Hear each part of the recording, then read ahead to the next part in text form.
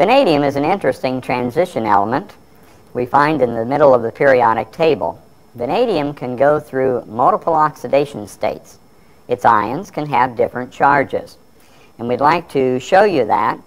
Here we've poured off some water from a zinc mercury amalgam and placed it in this large Erlenmeyer flask.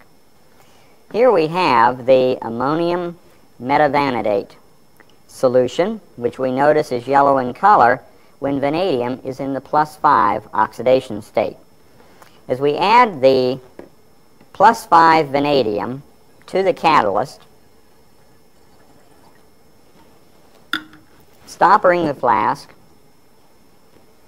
agitating it slightly, we see it changing to a green color. If we continue to agitate it and allow the reaction to proceed further, we notice a blue color appearing.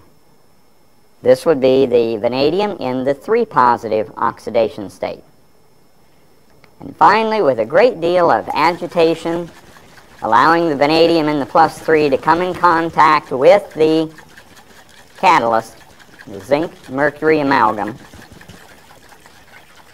After vigorous shaking, we see that the vanadium has changed from the 3 positive in the blue to the 2 positive, which is the violet color.